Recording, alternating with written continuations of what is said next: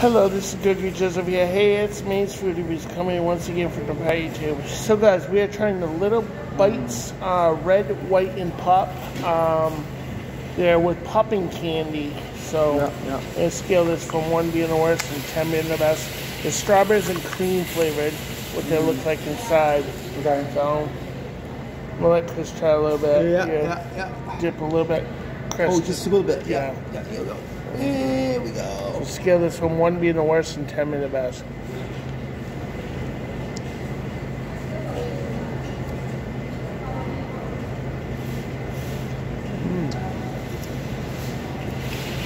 That's pretty good. What do you scale They're it? definitely different. Um, I'm more of an ice cream fan, so this is gonna be a pretty good rating for me. I I, I wouldn't give it um, a low one. A low one. I give it a 7. Um, I'm gonna give it a six. Okay.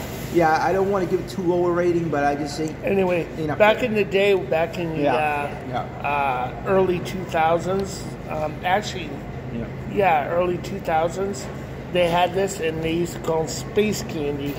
Um, Yeah. Basically, a, oh no, astronaut candy. Basically, they had a little thing. That's what and they're kind of futuristic, and you can get them from vending machines at Florida, in Florida. That's where I first saw them. Oh, Anyway, so they yeah. eat them in space?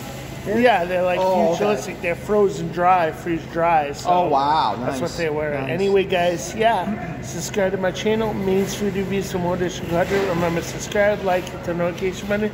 And guys, peace out. Have a good day, guys. God bless.